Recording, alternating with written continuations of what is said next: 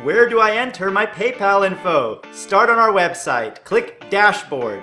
Then, after signing in, go to the Account menu, Billing History, and click Edit on Billing Details. There you can enter your PayPal email address so we can pay you. I hope you enjoyed this video. There are a lot more good questions and answers on our website. Go to any.tv and click FAQ. My name is George, CEO of AnyTV, and I hope you enjoy what we've built for you. Till next video, take care. 再见。